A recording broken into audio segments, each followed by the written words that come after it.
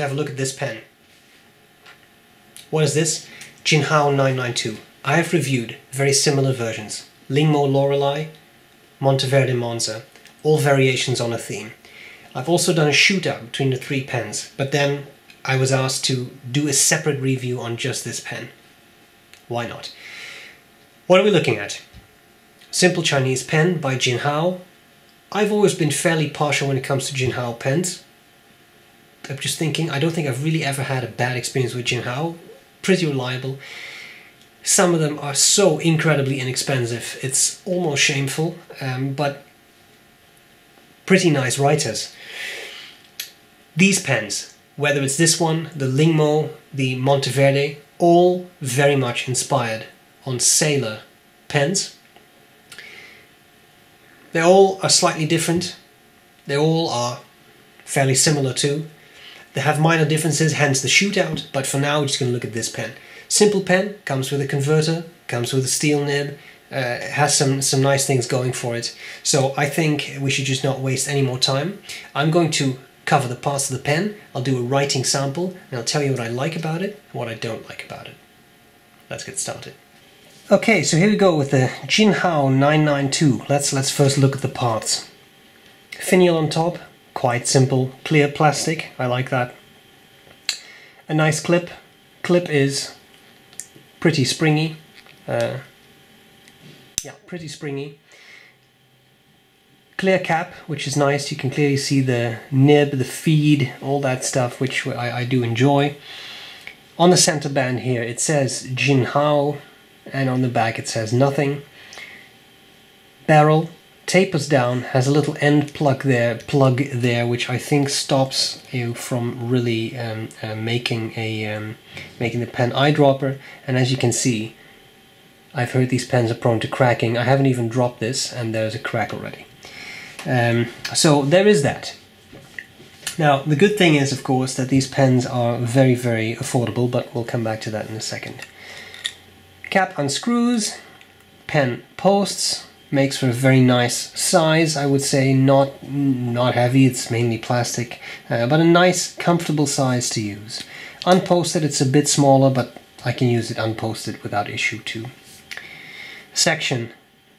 Tapers down flares out a little bit and it's a very very clear plastic which I think is actually quite cool because you can see try to get that a bit closer. You can really see the nib in there and the ink and the feed. It's really quite nice. Also, this model, as opposed to some of the other models like the, the Monza and such, if I remember correctly, this model actually has a nib collar, so you can unscrew the entire nib unit, which is kind of neat because it means you can clean easily under this. Little O-ring there, and then you have this this I'm sorry, but Lamy type uh, converter. It's not. It's not a Lamy uh, uh, converter, but the, the fact that this is flat, it's definitely inspired by Lamy. Um, but it works, draws up ink. The pen uh, functions. I mean, it, it, it, does what it's supposed to do. So a simple pen, but also uh, a, a, a, simple price. And I mean, I, I do think that is that is really not that bad. I. Um, uh, I saw these uh, on eBay for as low as $1.53. So, I mean, for under $2, you really can't complain too much. So it's really not bad, I think. Now, let's, let's do a bit of a writing sample. Let me uh, zoom out just a tiny bit. Paper is Rhodia. Here we have the Jin... Jin... Jin... Jin... I'm not sure if that's entirely correct. Jin... Anyway, Jinhao 992. I used to do this as a European, but I was corrected by the Canadian Post Office, so 992.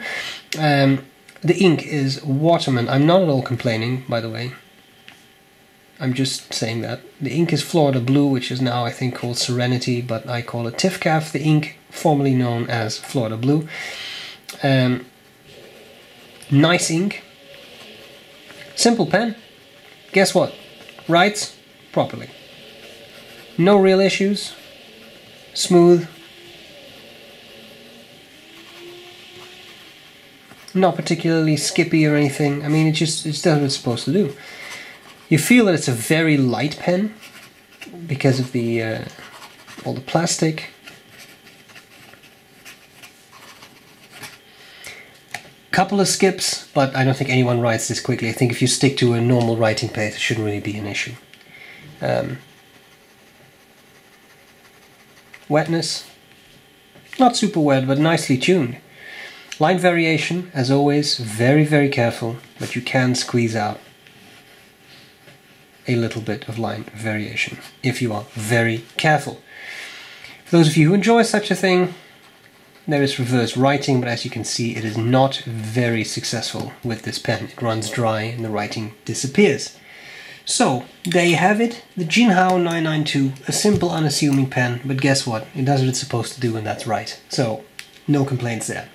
Let's move on to what I like about it and what I not like about it.